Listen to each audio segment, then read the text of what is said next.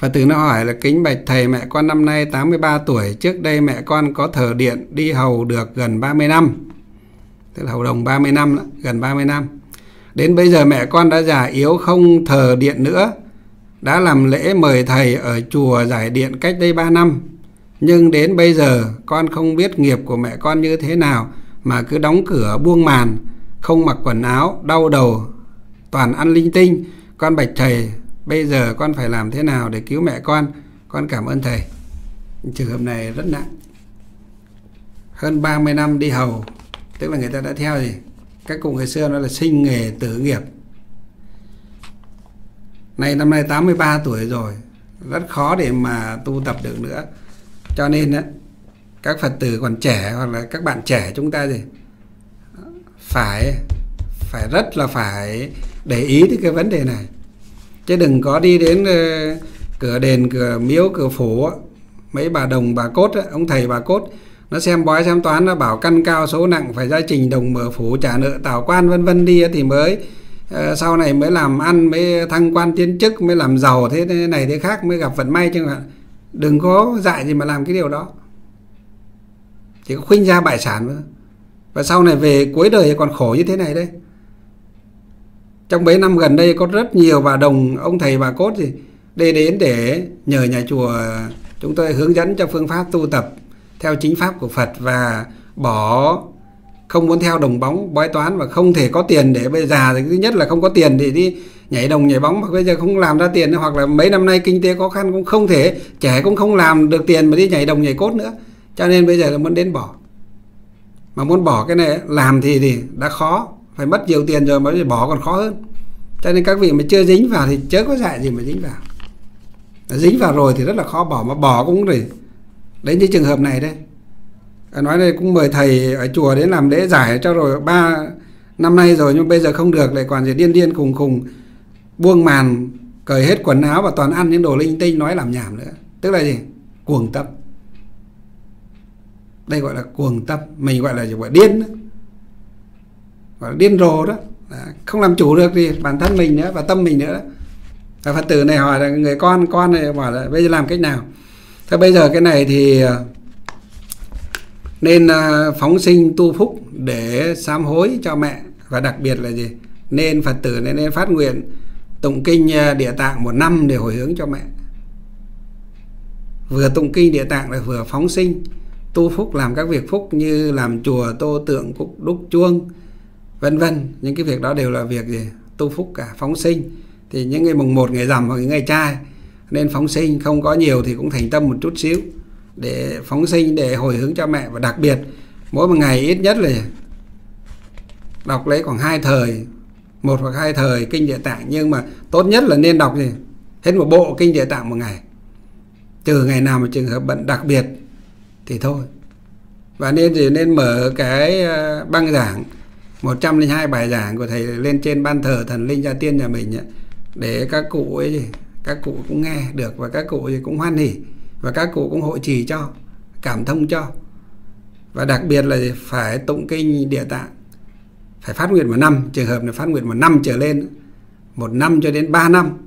Nhưng mà nếu mà nhất tâm mà thọ chỉ đọc tụng thì qua khoảng độ thì 49 ngày hoặc 100 ngày là bắt đầu bà cụ dần dần là ổn. Đó trường hợp này nên tụng kinh thì nên thỉnh lên một cái ảnh Bồ Tát Địa Tạng để lên trên ban thờ thần linh gia tiên nhà mình mà nhất tâm đọc tụng. Thanh bông hoa quả thành tâm đặc biệt là về mỗi ngày có bảy chén nước dâng lên trước ờ, ban thờ thần linh gia tiên nhà mình đối trước tranh ảnh hoặc là tôn tượng Bồ Tát Địa Tạng mà mà cúng dường. À, cúng dường xong đến ờ, qua đêm sáng sớm hôm sau lại thay bảy chén nước đó. Một chén ở giữa đổ lấy để ra trước một cái cốc sạch sẽ. Xong rồi ờ, tụng kinh xong À, đem vải hết từ à, các tầng nhà nhà mình từ phần tầng thờ cho đến bếp núc nhà cửa đất cát vải sạch vải hết đi cho nó mát mẻ. Cái thứ hai sáu chén nước còn lại đó. Thì à, sau khi tụng kinh xong vẩy nước xong á, thì đem cái sáu chén nước cho vào cái cốc. Nếu mà trời lạnh á, sợ cụ uống lạnh á, thì đun nó ấm ấm lên cũng được. Đó, đun nó ấm lên cũng được và đem cho gì cho cụ uống. Trước khi uống á, thì phải khấn nguyện chư Phật Bồ Tát Quan Âm đặc biệt Bồ Tát Địa Tạng ngài ra chỉ cho mẹ con uống cái nước này vào thì sẽ tiêu trừ nghiệp chướng. À, oan gia cháy chủ thì đều buông tha cho mẹ mình. Và khấn nguyện quan âm bồ tát và địa tạng bồ tát các ngài đặc biệt ra gia trì cho và đem cái nước này cho mẹ uống. Thì thầy nghĩ rằng nếu mà nhất tâm có thể qua 21 ngày hoặc 49 ngày là mẹ đã đỡ rồi. Thậm chí là tỉnh táo nhiều. Thậm chí là phải mặc quần áo vào và thậm chí là không ăn linh tinh nữa. Nhưng để khỏi hẳn thì cái này cũng phải có thời gian. Còn mất hàng năm trở lên. Nhưng mà đừng có thoái. Hãy cố làm đi. Nhất tâm mà làm đi. Khởi cái niềm tín kính tuyệt đối mà làm đi, thầy nghĩ là chắc chắn chư Phật Bồ Tát sẽ thương, sẽ giúp đỡ cho cái tâm nguyện của báo hiếu của gì? Của Phật tử này đối với với mẹ của mình.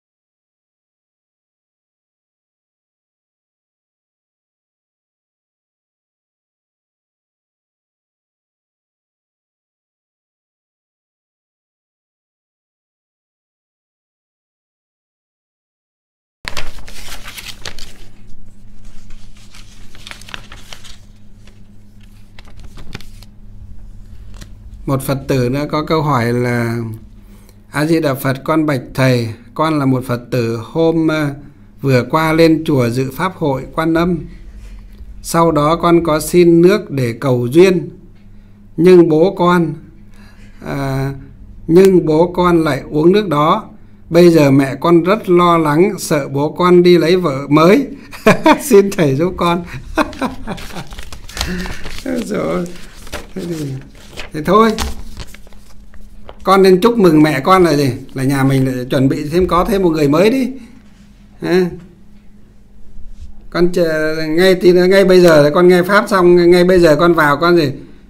Con chắp tay con a di đà phật con chúc mừng mẹ là gì? Mẹ sắp sửa nên có gì? Nên có một người mới để giúp việc gì? Giúp việc thêm cho mẹ. Mẹ hỏi làm sao bà gì? Bảo là hôm rồi con đi lên chùa lễ à, pháp hội à, Ờ, quan âm cho nên con xin chai nước cầu duyên về bố con uống mất thì sợ có khi tới đây bố con có bà hai mất. Xem mẹ con phản ứng thế nào. Khổ quá. Không phải là lên chùa cầu duyên xin chai nước về là uống vào là có duyên đâu. Đấy hiểu Phật pháp như thế mới chết tôi chứ đấy đi học Phật như thế thì, thì nguy hiểm quá. Bảo ai dạy? Bảo sư ông Thịnh ở chùa thầy Thịnh ở chùa Khai Nguyên dạy như thế thì có khi các cụ ở trung ương giáo hội bảo là tôi theo tà đạo. Và những người làm ngành an ninh họ mà nghe được cái họ, cô nói như thế phật tử này nói như thế chắc chắn họ sẽ bảo thì tôi mê hoặc lòng người mất. Có khi cái đạo tràng này chuẩn bị đi giải tán tới nơi.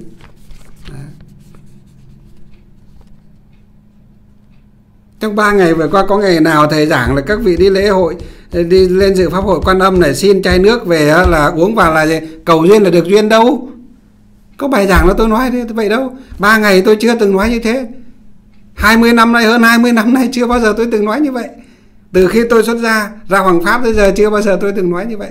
Mà tôi hướng dẫn cho các cái việc cầu duyên đã lên để gì? Lễ ba ngày pháp hội, nhất tâm để cầu tiêu trừ nghiệp chướng thứ hai là sau đó về để thỉnh lấy quyển kinh địa tạng về mà đọc tụng, để mà siêu độ cho các quan gia cháy chủ, cho cái nhân duyên tiền kiếp của mình. Họ sớm được đi đi siêu thoát và hẹn nhau có, nếu có duyên với nhau hẹn thì hẹn nó ở cõi gì? Cõi trời sau này. Tôi nói nguyên văn hôm trước như thế. Chứ không phải tôi không không dạy là lên lễ, ba ngày xong rồi xin chai nước về là uống vào một cái là gì duyên nó tìm đến bên chúng ta. Không có cái chuyện đó. Cho nên, cho dù con có gì phật tử này bạn này có gì có lên theo pháp hội ba ngày và sau đó có xin chai nước về để cầu duyên đó, thì cũng không được. Không phải duyên nó đến ở chai nước đó. Mà cái cái cái nước đó là thầy sai thì nói là thầy dạy cái lên xin nước á, chính là để cầu cầu tự tức là cầu con. Những đôi vợ chồng lâu năm rồi hoặc cưới nhau vài năm hoặc thậm chí hơn chục năm thậm chí nhiều năm rồi mà không có con cầu cúng chữa mãi các nơi không khỏi. Thì về phát nguyện ăn chay trường 21 ngày tụng kinh địa tạng cập phóng sinh tu phúc bố thí cúng dàng làm việc thiện không ăn hành hệ tỏi kiệu. Nhất tâm tụng kinh hai địa tạng 21 ngày như vậy vợ chồng gì tách phòng tách giường nhau ra không ngủ chung. Và sau 21 ngày đó ăn chay tụng kinh niệm Phật hết đủ 21 ngày đó thì hai vợ chồng gì nên lên chùa Tản Viên để lễ Phật và để xin cái nước ở dưới giếng Quan Âm ấy về và uống với thuốc. À, uống với thuốc. Thì sau đó về gì? Thì khi đó thì bắt đầu về thì xin nước xong về mới cho ngủ chung giường chung chiếu với nhau đừng có gì. Thì khi đó bắt đầu nó mới gì nếu mà cái duyên nó đến cái phúc à, nó đến tội nó diệt phúc nó sinh thì sẽ sinh con thôi.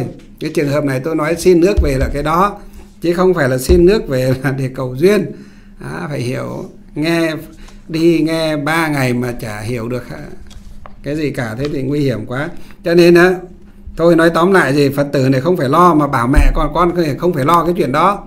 Cho dù uống một chai chứ 10 chai thậm chí nghìn chai nước mà gì, con lấy ở pháp hội quan âm về cũng không sợ bố con gì. Đi lấy vợ hai đâu mà lo. Mà nếu mà thực sự mà bố con trong tâm bố con á mà mèo mả gà đồng á mà muốn đi kiếm vợ hai á thì cho gì thì chả uống chén nước đó gì bố con cũng sẽ đi đi kiếm vợ hai. À, cho nên có lo chẳng được. Nhưng điều quan trọng gì?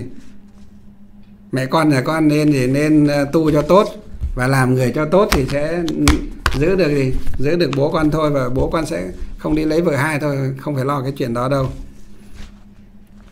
Cho nên cũng không cần phải giúp, chỉ con giúp con thôi, mẹ con tự giúp nhau. Không cần phải người khác giúp.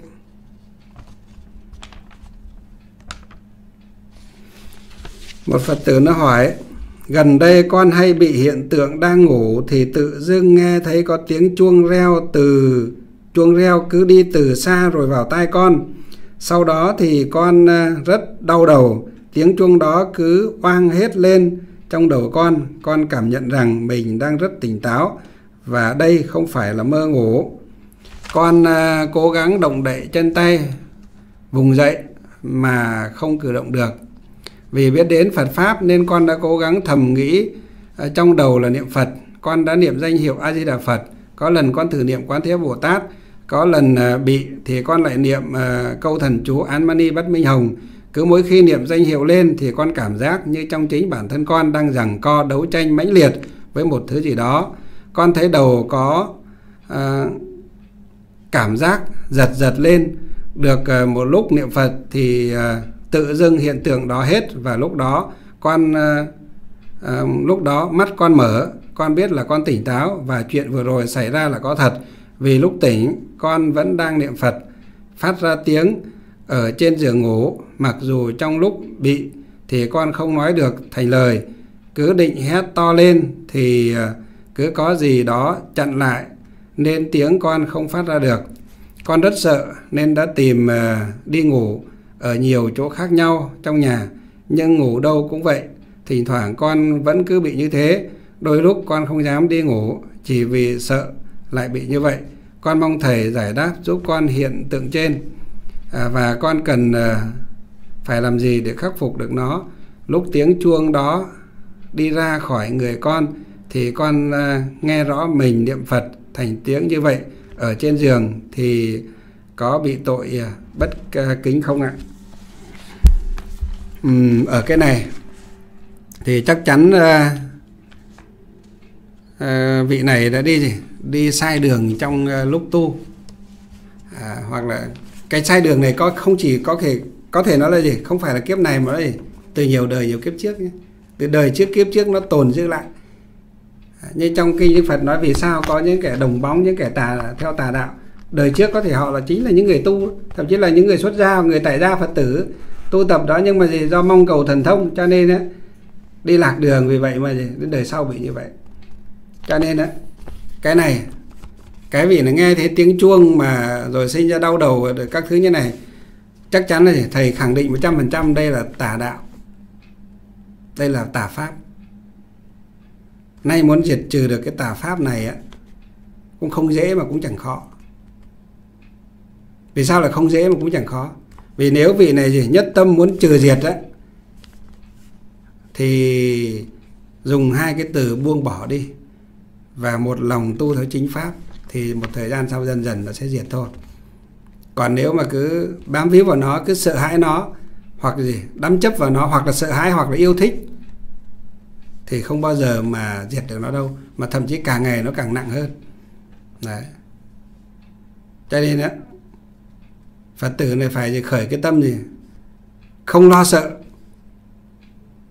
Khởi cái tâm không lo sợ mà tu hành chính pháp. Hãy đối mặt với nó đối diện với nó để tu tập chính pháp. Nhất tâm để tụng kinh địa tạng để sám hối nghiệp chướng và hồi hướng cho các oan gia trái chủ của mình. Cầu phật bồ tát quan âm bồ tát gia trì cho. Và trừ cái bệnh này cho thì một thời gian ngắn là khỏi thôi. Nhất tâm vào. À, đừng có sợ. Đặc biệt là không được sợ. Nếu khởi tâm sợ, nó tiếp tục nó khủng bố. Mà nó khủng bố tiếp thì thậm chí nó còn làm mạnh hơn nữa. Thậm chí nó còn làm cho điên cuồng loạn tâm nữa. Cho nên cái trường hợp này nhất định không sợ. Hãy nghĩ và gì? Hãy quán tưởng rằng về Đức Phật dạy ở trong kinh Diệu Pháp Liên Hoa rằng tất cả chúng sinh đều có Phật tính. Đức Phật là Phật đã thành, chúng ta là Phật sẽ thành. Tức là chúng sinh đó, trong chúng sinh đó có chúng ta và chúng ta chắc chắn sẽ là một vị Phật tương lai. Vì vậy, trong bản tâm mình gì cũng có đầy đủ tự tính thanh tịnh sáng suốt như Phật. Do gì ngày xưa chúng ta thì khởi lên, từ vô thủy kiếp khởi lên một niệm bất giác. Cho nên chúng ta cứ lâu ngày chảy tháng, nhiều đời nhiều kiếp đuổi theo nó, bây giờ chúng ta mới là chúng sinh như vậy thôi. Chứ thực tế chúng ta cũng có đầy đủ tự tính thanh tịnh giải thoát giác ngộ Phật. Nay chúng ta đã học Phật, đã hiểu Phật, đã được nghe thần chú, được đọc kinh Phật rồi, chúng ta thì sẽ nhất định tu theo chính pháp. Cho nên một lòng tụng kinh, một lòng niệm Phật, một lòng trì chú. Dẫu cho gì có tán thân mất mạng một đời chúng ta không không tiếc. Nhưng ngày xưa các tổ nói gì? Sống một giờ mà có đạo á, còn hơn gì kẻ sống một trăm năm mà không có đạo sống một ngày mà được tu Phật á, mà được chết trong chính pháp của Phật á, thì còn hơn sống cả ngàn năm mà mà không biết tới không biết tới đạo. Không biết tới Phật và không được tu theo Phật. Đó. sống một ngày mà được tu Phật còn hơn là sống gì? Hàng cả trăm ngàn vạn ức kiếp mà sống không được tu theo Phật. Đó cho nên đó, cho nên phật tử này phải khởi cái tâm là dũng mãnh tinh tiến. Mà tu tập thì cái đó dần dần sẽ tiêu trừ thôi. Nhất tâm tụng kinh niệm phật để mà à, được đặc biệt là kinh à, à, địa tạng để tu tập thì sẽ dần dần hết thôi. Một phật tử nó hỏi con bạch thầy ở nhà con tổ chức cộng tu cùng các bạn đồng tu nhưng có một thầy trong nam giảng là nếu tu như vậy thì gia tiên ở nhà không có công đức nên các bạn bỏ về nhà tu hết rồi ạ. Bạch thầy, con biết như vậy là không đúng, nhưng không biết nói thế nào, mong thầy từ bi chỉ dạy. Đó cho nên thầy mới nói là gì? Học Phật chúng ta phải à, có trí tuệ là như thế. Cái gì chúng ta được học mà cảm thấy nó đúng, cảm thấy an lạc, tu tập, cộng tu an lạc rồi thì chúng ta cứ thế mà làm. Đây Phật tử này nói là à, các phật tử nói là ở nhà đang cộng tu ở một nhà phật tử như vậy rất là an lạc. Các bạn đồng tu đang cộng tu như vậy. Nhưng có một thầy trong nam ra và bảo rằng giảng là tu như vậy á thì gia tiên không có ờ, gia tiên ở nhà không có công đức không có ờ, lợi lạc gì. Cho nên các bạn đồng tu và bỏ về nhà hết làm cho đạo tràng tan vỡ. Đó như vậy là gì? Cái thứ nhất là vị thầy kia giảng không đúng chính pháp. Cái thứ hai là các phật tử này là gì? Đại đa số là chưa chưa có đủ niềm tin vào những bài pháp. Các quý thầy mà mình các bậc minh sư các bậc đạo đức đạo hạnh giảng chúng ta chưa được nghe. Hoặc nghe rồi chúng ta chưa thấm chúng ta chưa có đức tin sâu cho nên đấy chúng ta mới gì mới ngay nghe người này nói thế này mai nghe người khác nói thế kia. Chúng ta giống như gì? Giống như uh, uh, giống, giống như cánh diều á ở trên hư không, tùy theo gió nó ờ, thổi về đằng gì đằng đông thì chúng ta dìu bay đằng đông, gió thổi sang đằng tây, chúng ta bay sang đằng tây, gió thổi đằng nam, chúng ta bay đằng nam, gió thổi đằng bắc, chúng ta bay đằng bắc như thế là là chưa được. Cho nên phật tử này nên gì? Nên ờ, khuyên các cái nhóm phật tử kia nên nghe nghe giảng kinh địa tạng được thì tốt. Hoặc nghe các bậc gì? Các bậc tôn túc như là hòa thượng tịnh không? Hay là gì? Hay là nghe đọc những cái bài giảng của ngài ấn quang à, pháp sư hoặc là bài giảng của cố hòa thượng tuyên hóa? Ở việt nam chúng ta như là bài giảng của cố hòa thượng à, trí tịnh hoặc là cố hòa thượng thiền tâm vân vân thì để chúng ta gì? Cho chúng ta có thêm cái niềm tin vào chính pháp để thực hành cộng tu cho tốt hơn. Thì chúng ta biết là nếu cộng tu được á, thì cái sức cộng tu nó rất là mạnh còn tu đơn lẻ thì trừ trường hợp chúng ta nhà bận không thể đi được thôi, chúng ta phải ở nhà tu đơn lẻ. Hoặc sáng sớm chúng ta không đến nhà nhau được, hoặc đêm tối khuya không đến nhà nhau được thì chúng ta gì? Mới tu riêng lẻ như vậy. Còn thì chúng ta thì sinh hoạt với đạo tràng và có những cái buổi cộng tu thứ nhất là để sách tấn nhau. Thứ hai là để trao đổi những kinh nghiệm, học hỏi lẫn nhau. Rất là tốt. Đó. Một mình thì có thể chúng ta giải đãi, nhưng mà cộng tu cả nhóm như vậy chúng ta rất là gì? Rất là tốt nếu như đoàn kết thanh tịnh hòa hợp. Đó. cho nên các phật tử nên cố gắng duy trì. À, sau khi nghe được cái lời giảng của thầy này thầy rất mong rằng các phật tử trong đạo tràng này lại tiếp tục cộng tu với nhau ít nhất một tuần một, một một lần hoặc là một tháng được khoảng hai ngày. Cộng tu như vậy duy trì cái sự cộng tu như vậy công đức rất lớn và tạo thành một cái mối liên kết một cái sự hòa hợp giữa đệ tử của Phật với đệ tử của Phật nó tạo thành một cái gì, một cái năng lượng rất là lớn không thể nghĩ bàn được.